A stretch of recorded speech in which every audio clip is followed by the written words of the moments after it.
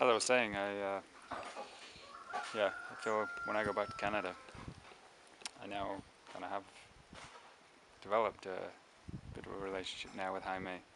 I've met him and spent time with him this morning, um, which makes me feel good. But the important thing to realize is, whilst that's what fair trade principles are generally about, um, or part of it is about developing relationships with producers and just giving them long-term, secure um, business.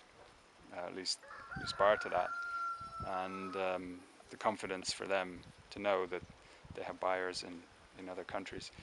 Um, the important thing with the relationships is to realize it's not just about us feeling good when we buy these products. Is one step from buying something that you know nothing about and it's just a thing.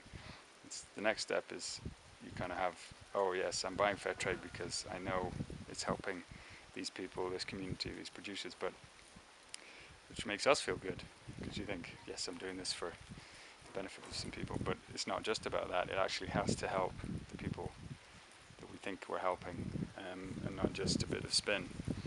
And I know now that having seen Jaime and his family, well, I know his family are helped with level ground. There is a direct correlation here between buying that product and actually him being helped and his family being helped and uh, the difference that's made over the years. So I'm confident in that, and that's really why, partly why I've been doing this trip is to get an insight into what the lives are for people like this, and that will help me when I get back to Canada. But um,